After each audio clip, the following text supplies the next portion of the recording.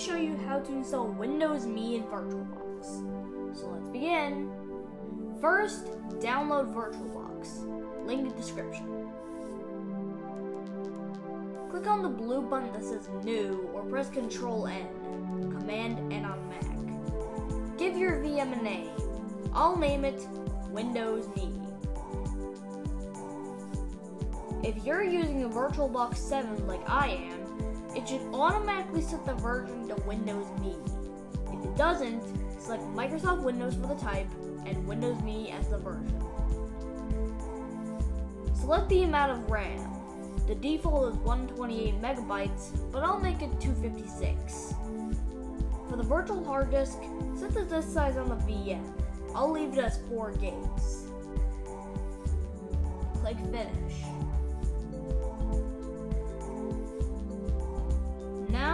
Click on the orange button that says Settings or press Ctrl S, Command S on Mac. Go to the Storage tab. Click on the blue disk icon. Click the blue disk with an arrow, then click Choose a disk file. Navigate to your Windows Me ISO file. Link is in the description.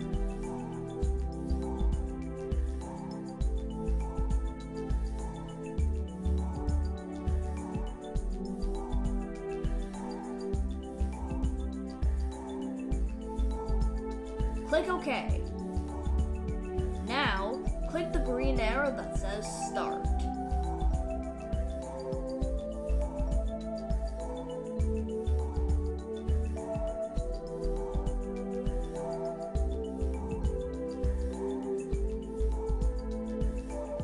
Navigate down to Boot from CD-ROM and press Enter. Press Enter to start Windows setup from CD-ROM.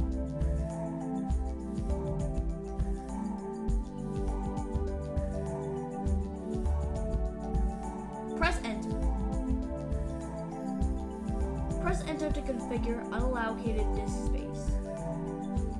Navigate down to yes, enable large disk support and press enter. Press enter. Do what we did last time.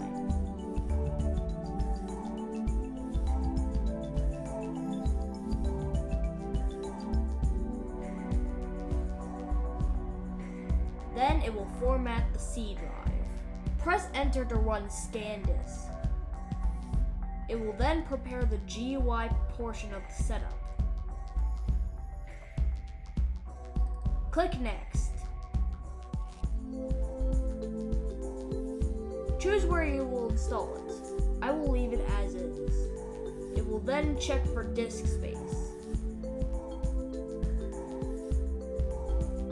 Choose your way to install it. There's four options. Typical, portable, compact, and custom. We will choose typical. You can choose to install the most common components or choose which ones you want to install. I will install the most common components. Choose a computer name. I will name mine MeVM. You can also choose a work group and a computer description, but we will leave them. Select your country. I will choose Canada.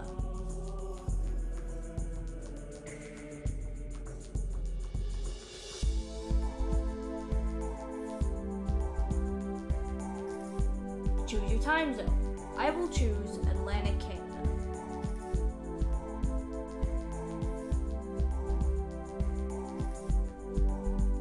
It will then create a startup disk.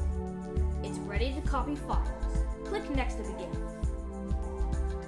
It will then copy files.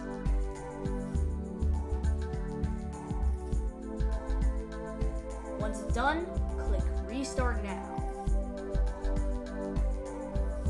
Press Enter to boot from the hard disk.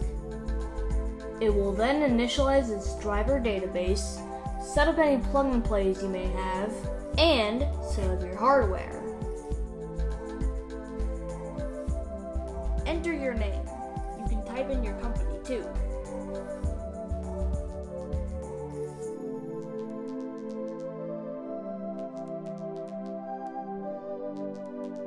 Click I accept the agreement. Product key if you have the ISO in the description. If not, you'll have to find one. Click Finish.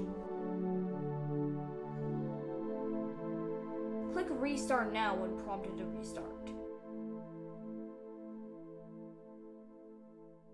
Press Enter to boot from the hard disk. Once again, it will set up any plug and plays you may have. Then, it will set up Control Panel, Programs of the Start menu, Windows Help, Application Start, and the system configuration. When prompted, click Restart Now.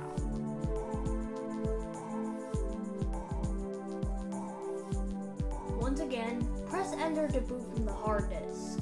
Type the name you entered earlier and type your password if you made one. It will update system settings and send you to the desktop. And there you go.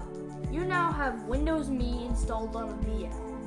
Thanks for watching. If you found this helpful, make sure to like and subscribe.